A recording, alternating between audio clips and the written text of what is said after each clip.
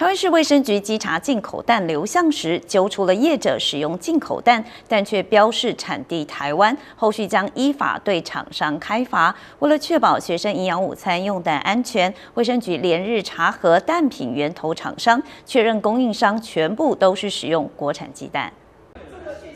进口鸡蛋问题持续延烧，桃园市卫生局日前稽查某蛋品工厂时，查获业者使用巴西进口蛋，产地却标示台湾。后续会以食安法开罚，并要求下架回收。面对进口蛋造成的风波，行政院副院长郑文灿出席桃园的活动时表示，进口蛋都有使用的分配，中央也会提供完整的资料给地方政府。它有三个这个使用的分配，好，第一个是上市的壳蛋，第二个是库存，第三是交给加工业者。那大概有五十几个单位，好都有资料可以查核。那